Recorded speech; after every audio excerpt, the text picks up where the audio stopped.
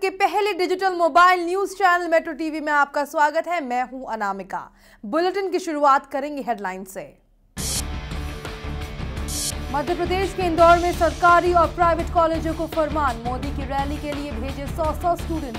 बाबा साहब की जयंती पर है पीएम का कार्यक्रम।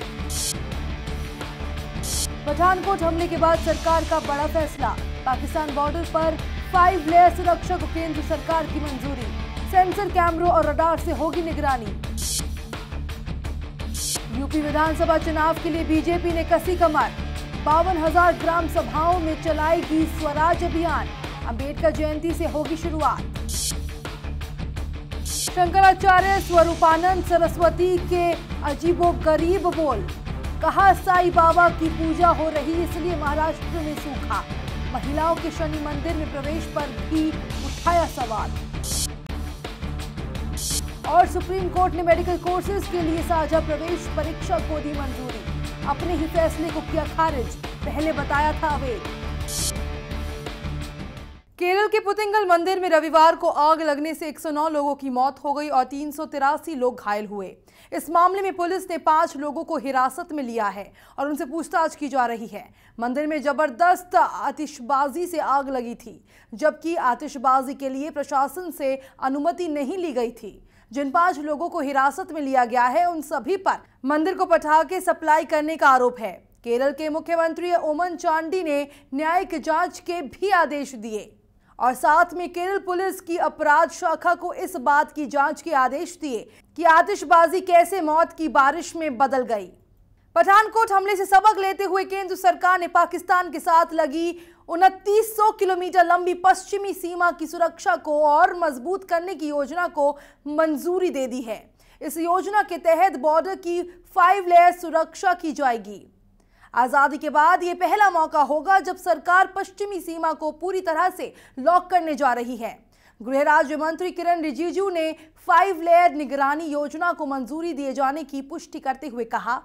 भारत पाकिस्तान की सीमा में कुछ जगह ऐसी है जहाँ से घुसपैठ की संभावना रहती है। ऐसे में इन जगहों को फुल प्रूफ सुरक्षा देना सरकार का काम है। इसलिए नई नई तकनीक का इस्तेमाल किया जा रहा है, जिसमें सीसीटीवी कैमरा और thermal image underground monitoring sensor शामिल है। उत्तर प्रदेश में 2017 में होने वाले विधानसभा चुनाव की तैयारियों के सिलसिले में बीजेपी गाँवों में पेट बनाने के लिए प्रदेश की बावन हज़ार पंचायतों में ग्राम स्वराज अभियान शुरू करेगी। बीजेपी के प्रदेश प्रवक्ता ने बताया, ग्राम स्वराज अभियान की शुरुआत डॉक्टर भीमराव अंबेडकर की जयंती 14 अप्रैल से होगी और इसका समापन 24 अप्रैल को प्रधानमंत्री नरेंद्र मोदी के सीधे सीधे संबोधन से होगा। अभियान के दौरान मोदी सरकार की उपलब्धियों और उसके आम बजट के प्रमुख प्रावधानों से भी लोगों को अवगत कराया जाएगा। पार्टी के प्रमुख पदाधिकारियों की सूची बनाकर हर एक को कम से कम 10 ग्राम पंचायतों का दौरा करने की ज़िम्मेदारी दी जाएगी। मध्य प्रदेश के इंदौर ज़िले के सरकारी और निजी इंजीनियरिंग कॉलेजों से कहा गया है कि उनमें से हर कोई 14 अप्रैल को मोम में होने वाली पीएम नरेंद्र मोदी की रैली में अनिवार्य तौर पर 100-100 स्टूडेंट्स भेजें। मोह संविधान के निर्माता बाबा साहब अंबेडकर का जन्मस्थल है। सात अप्रैल को असिस्टेंट कमिश्नर मोहिनी श्रीवास्तव के दस्तखत वाला ये आदेश जारी हुआ है। इस आदेश से कॉलेज प्रशासन परेशान है क्योंकि इनमें से कई के पास गाड़ियाँ नहीं हैं। इसके अलावा कुछ कॉलेजों में परीक्षाएँ चल रही है, जिसकी वजह से स्टूडेंट्स का इस रैली में हिस्सा लेना मुश्किल है। कांग्रेस ने इस आदेश की आलोचना करते हुए कहा है कि बीजेपी रैली के लिए भीड़ जुटाने में नाकाम रही है। वही सरकारी अधिकारियों का कहना है कि स्टूडेंट्स वहाँ सिर्फ़ वॉलंटियर के तौर पर शरीक होंगे। सुप्रीम कोर्ट ने मेडिकल कोर्सेज के लिए साझा प्रवेश परीक्षण आयोजित करने के प्रस्ताव को मंजूरी दे दी है। कोर्ट ने 2013 में एमबीबीएस, बीडीएस और स्नातकोत्तर चिकित्सा पाठ्यक्रमों के लिए साझा प्रवेश परीक्षण पर दिए अपने ही फैसले को खारिज कर दिया है। इस फैसले में सर्वोच्च अदालत ने साझा एंट्रेंस टेस्ट को अवैध करार दिया था।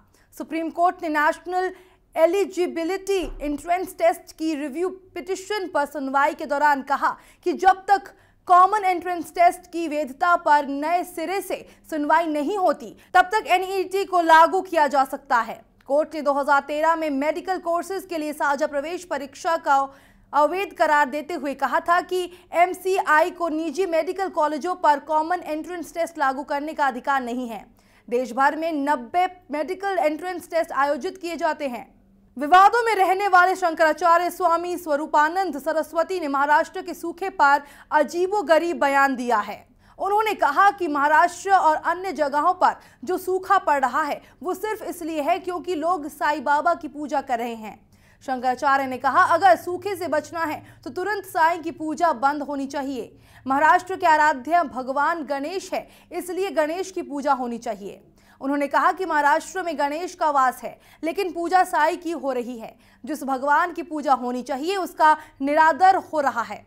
शंकराचार्य स्वरूपानंद सरस्वती यही नहीं रुके। उन्होंने महाराष्ट्र के शनि शिग्नापुर में महिलाओं को प्रवेश मिलने पर भी सवाल उठाया। उन्होंने कहा, जिस तरह से महिलाओं पर अत्याचार हो रहे हैं, वो तब तक नहीं रुकेंगे जब तक महिलाएँ शनि की पूजा करना बंद नहीं करेगी। गैर चांदी की ज्वेलरी पर लगाए गए एक्साइज ड्यूटी को हटाने से वित्त मंत्री अरुण जेटली ने साफ़ इनकार कर दिया है। उन्होंने कहा कि ऐसे समय में जब कई आवश्यक वस्तुओं पर टैक्स का भुगतान करना ज़रूरी है लग्जरी वस्तुएँ टैक्स के दायरे में बाहर नहीं रह सकती है। दूसरी ओर एक्साइज ड्यूटी हटाने की मांग को लेकर देश भर के ज्वेलर्स आज इकतालीसवें दिन भी हड़ताल पर है। जेटली ने कहा, यदि हम सोने पर जीएसटी नहीं लाते हैं तो अन्य वस्तुओं पर कर बढ़ाना पड़ेगा। उन्होंने कहा कि जब देश जीएसटी की दिशा में बढ़ रहा है, ऐसे में लग्जरी वस्तुओं को कर से छूट देने का कोई कारण नहीं बनता। डिज्नी की फ़िल्म द जंगल बुक ने भारत में पहले दिन में ही 10 करोड़ रुपए की कमाई कर ली है। इसे बेहतरीन शुरुआत के तौर पर देखा जा रहा है।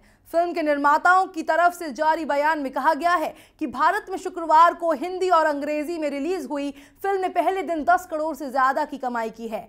बॉलीवुड और हॉलीवुड में एयरलिफ्ट के बाद 2016 में अब तक द जंगल बुक ही पहले दिन सबसे अधिक कमाई करने के मामले पर दूसरे नंबर पर है। फ़िल्म भारत के जंगलों में रहने वाले एक लड़के की कहानी है, जो रिवार्ड कंपनी के उपन्यास को आधुनिक रूप में प्रस्तुत करती है। फ़िल्म में भारतीय अमेरिकी बाल अभिनेता नील सेठी मोगली का किरदार निभा रहे हैं। पनामा पेपर्स लीक मामले ने दुनिया में हंगामा मचा दिया है। पेपर्स में नाम आने के बाद कई राष्ट्रीय नेताओं को अपने पद से इस्तीफा तक देना पड़ा। क्या है पूरा मामला? देखिए हमारे इस खास रिपोर्ट में। दुनिया के कई बड़े राजनेता राष्ट्र प्रमुख फिल्मी और खेल हस्तियों की धड़कने तेज हो गई हैं। दरअसल बात ही ऐसी है, एक ऐसा खुलासा हुआ है, जो दुनिया के अर्थतंत्र के पीछे छिपी कमजोरियों को बेनकाब कर दिया है, जिसकी आँच इन कमजोरियों का बेजा फ़ायदा उठाने वालों पर पड़नी लाजमी है। इन लोगों ने कथित तौर पर मोसेक फोनसेका फर्म की मदद से टैक्स बचाने के लिए नई कंपनियाँ गठित की और टैक्स हेवन देशों में अपना पैसा जमा करवाया। दरअसल अंतर्राष्ट्रीय मीडिया संगठन international consortium of investigative journalism ने पनामा स्थित कानूनी सलाहकार फर्म मोसेक फांसियोका से लीक हुए दस्तावेजों की महीनों तक की गई पड़ताल के निष्कर्षों को सार्वजनिक किया है। जाँच में तकरीबन 140 राजनीतिकों का नाम भी शामिल है, जिसमें से अलग अलग देशों के 12 पूर्व या मौजूदा प्रमुख हैं। इनमें चीन के राष्ट्रपति शी जिनपिंग आइसलैंड के प्रधानमंत्री डेविड गुलनाक्सन पाकिस्तान के प्रधानमंत्री नवाज़ शरीफ, यूक्रेन के राष्ट्रपति पेट्रो पोरोशेंको और सऊदी अरब के बादशाह का नाम शामिल है। इसके अलावा अभिनेता जैकी चैन, प्रसिद्ध फुटबॉलर मैसी सहित कई ऐसे बड़े लोगों के नाम शामिल हैं। खुलासे के बाद दुनिया भर के कई देशों में विरोध प्रदर्शन शुरू हो गया है। आइसलैंड के प्रधानमंत्री ने अपने खिलाफ हुए प्रदर्शनों के बाद इस्तीफा दे दिया है। चीन ने इन खबरों पर रोक लगा दी है, जबकि पाकिस्तान ने जाँच बैठा दी है। ब्रिटेन के प्रधानमंत्री डेविड कैमरन ने अपने पिता का नाम आने पर सफ़ाई पेश की है। धूमिल होती छवि को बचाने के लिए पनामा सरकार ने जाँच में सहयोग पर भरोसा देते हुए कहा है कि ऑफशोर कंपनियाँ गैर कानूनी नहीं हैं और उनकी ज़िम्मेदारी नहीं है कि उसके ग्राहक उन कंपनियों का कैसे इस्तेमाल करते हैं। हो सकता है कि ये कंपनियाँ गैर कानूनी ना हो, लेकिन दो लाख से अधिक छुपे रुस्तमों का राश छिपा कर रखना शक पैदा करने के लिए काफ़ी है। दरअसल मोसेक फोन्सेका जर्मनी और ब्राज़ील में मनी लॉन्ड्रिंग के लिए पहले से ही बदनामी झेल रही है। ऐसे में सफ़ाई जो भी दी जाए, वो बेमानी ही होगी। दुनिया के कई मुल्कों में मृत्यु दंड को समाप्त करने पर बहस की जा रही है, लेकिन एक रिपोर्ट में ये साबित हुआ है कि मृत्यु दंड में पहले की अपेक्षा इजाफा हुआ है। पिछले साल 1600 से ज़्यादा लोगों को मौत की सजा दी गई। जानते हैं इस रिपोर्ट में। अपराध पर अंकुश लगाने का प्रयास हर समाज सदियों से अपने अपने अंदाज में करता रहा है। प्राचीन जमाने से लेकर आज के सभ्य समाज तक सजाए मौत का एक बेरहम तरीका कायम है, जिसे लेकर अक्सर बहस होती रहती है। वक्त की सभ्य चादर ने मृत्यु दंड की सजा को कुछ समय के लिए भले ही ढक दिया हो लेकिन नए खुलासे बताते हैं कि ये क्रूर रिवाज आज भी तेज़ी से फल फूल रहा है। मानवाधिकार संस्था एमनेस्टी इंटरनेशनल ने 2014 की तुलना में 2015 में दुनिया में मृत्यु दंड देने में 50 फ़ीसदी के इजाफे का दावा किया है। एमनेस्टी की माने तो दुनिया भर में उन्नीस सौ नवासी के बाद 2015 में सबसे अधिक मौत की सजा दी गई।